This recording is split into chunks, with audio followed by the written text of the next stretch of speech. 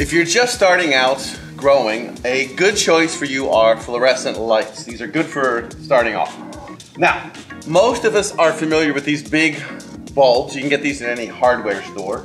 And you can certainly go and get a cool white light and grow plants underneath it. However, fluorescent lights don't have a lot of light intensity.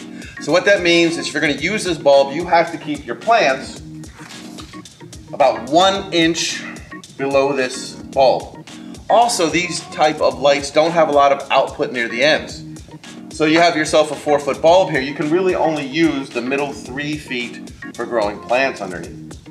Now another option with fluorescents are these compact fluorescent bulbs. And so you can use this, you can put this above your plants. Now again, since fluorescents don't have a lot of light intensity, sometimes you can also use these for side lighting. Put this beside of your plant so you'll get light from the top as well as the side. Now, the best option for fluorescents, if you're going to use them, are these skinny little tubes here, and these are called T5 fluorescent lights.